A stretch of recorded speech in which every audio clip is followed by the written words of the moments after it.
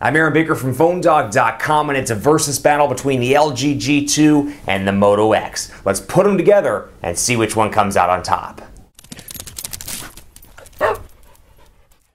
Man, I love a good versus battle, and I think you do too, so I think you're going to like this one a lot because it's dealing with two very popular Android handsets on the market. One on the left side, the LG G2, two on the right side, the Motorola Moto X, which are both very popular high-end Android phones that are appealing to a lot of different people. Let's do a quick roundup of the specs. Let's talk about what makes these different, what makes them kind of similar, and we'll come out at the end saying which one is the must-have Android smartphone in this versus battle, which is very similar to the dogfight, but it's one part as opposed to two. Before we go into it, special thanks to my partners at Best Buy Mobile for giving us devices like the G2, like the Moto X for use in our One Pawed Bandit giveaway game. When you go into Best Buy Mobile to get either of these devices, you'll walk out working. They'll make sure you walk out with everything set up, walked out the door. You know, you got your email set up, your web set up. Can't complain. All thanks to the boys in blue, as I like to call them, at Best Buy Mobile. So here's the LG G2 spec-wise, pretty powerful all around. You're looking at a 2.3 gigahertz quad-core Snapdragon 800 CPU, 5.2 inch 1080p HD display here, a 13 megapixel camera on the back with 1080p HD video recording capabilities and optical image stabilization. You'll notice the volume rocker and power button are also on the back, making it a little bit of a departure from the traditional look and feel of an Android smartphone. Your 3.5 millimeter headphone jack is at the bottom combined with your micro USB charging port and speakers of course and then you've got your on-screen buttons as you can see here 4G LTE capabilities on all of the carriers. This is the AT&T version which you saw with the logo on the back and of course AT&T's 4G LTE indicator. It's running Android 4.2 Jelly Bean with LG's UI and it's packing a non-removable 3000 milliamp hour battery. The Moto X is a little bit different because it's one of the first devices that was designed by Motorola, but you can really tell it's got a really nice hand of Google in it, if you will, with the stock look and feel and the overall cleanliness of the device itself. It's a very pure device, not necessarily stock Android, but very, very, very close to it when you look at it versus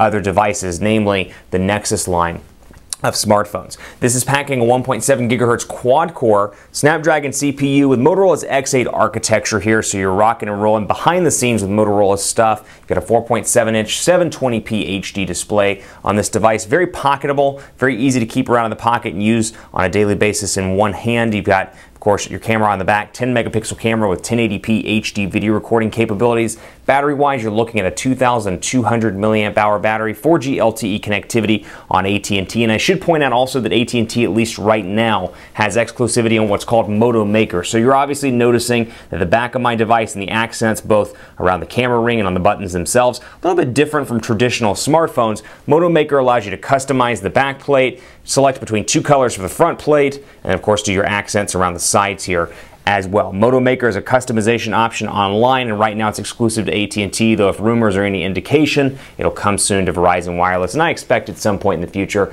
to other carriers as well. This one comes in black and white depending on your particular carrier. As you can see here, the AT&T logo on the back. Let's dive right in. You can see first of all the screen size difference on both of these units and also, also rather you can see the back and the way that they look. This one's a little bit curved both on the sides, looking at it from a landscape perspective and then looking at it from the top to bottom you can see it's curved there as well. It makes it really easy to hold in the hand. It gives the Motorola logo here a nice natural place for your index finger to rest for long phone calls. So really from an ergonomics perspective, a very comfortable device over here for long phone calls, for using it while you're on the road, perhaps sitting on an airplane, typing with one hand. Really a comfortable device to use. Over here, definitely on the close, I should say, definitely close to being on the big side. LG in the presentation in New York City a few months back said that 5.2 inches based on their research is the perfect screen size because it's right at the edge of being too big for one-handed use but still gives you that maximum screen real estate, making for a great experience in terms of content consumption. So that's why they chose 5.2 inches.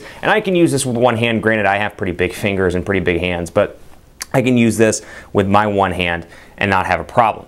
Running Android 4.2 over here, Android 4.2 over here as well, and you can see, even though it's running the same version theoretically of Android, very different thanks to LG's user interface versus Motorola's pretty light customizations on the Moto X. You can see over your applications and widgets tabbed out like they are over here on this near stock version of Google, or of Android rather, and then you've got your search button shortcut, then you've got a shortcut here to delete applications on the fly on the AT&T LG G2. Out of the box, as you would expect, you get a lot of AT&T stuff on the G2, Amazon Kindle, AT&T Code Scanner, Drive Mode, Family Map, Locker, Battery Manager, Navigator, all that jazz device help, data manager, and more. Over here, you do get some of that stuff. AT&T Locker, as you can see. Motorola's Assist application, which is very helpful. We'll talk about in just a few seconds.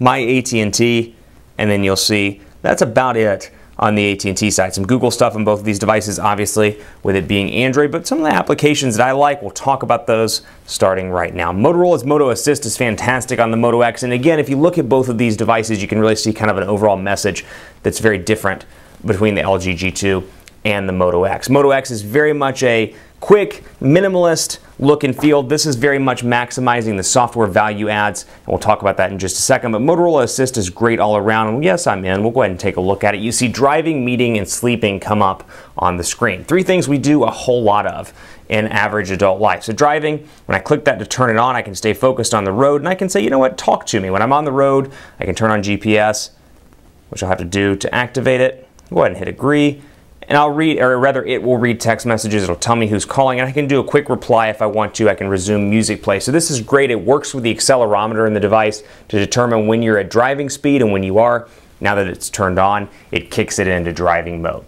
Meeting down here as well, it takes a look at my calendar and says, hey, you got a meeting from 1 o'clock to 2 o'clock today. We'll go ahead and kick the phone on silent while you're in the meeting so you don't get interrupted a great feature there as well. Sleeping over here, get a good night's rest. As you would expect, you can select a certain time, 11, let's say to 6, and I can silence my phone with the exception of important calls, and I don't have to worry about doing that every single night. It'll just automatically do it when that's activated. So a nice little touch over there. Taking a look at the applications over here, really some nice software value adds over on the LG G2. Some of my favorites include, and we'll go to display here to take a look. I can change, of course, the font type, the font size. So the G2 is all about personalization in the software, whereas I feel like the Moto X is more about personalization via the external look and the external feel. So a little bit of a different message there depending on what's more important to you, the look and feel or the internal, or I should say the software itself. Smart screen here, screen stays on when phone detects your face. Smart video, when you look away from video, the screen pauses and allows you to look away and then look back and continue your video work. Notification LEDs as well. There's one on the front of the device and one on the back as well around the power button. So you got a two for one notification light there. And I'll go ahead and flip this back into portrait mode.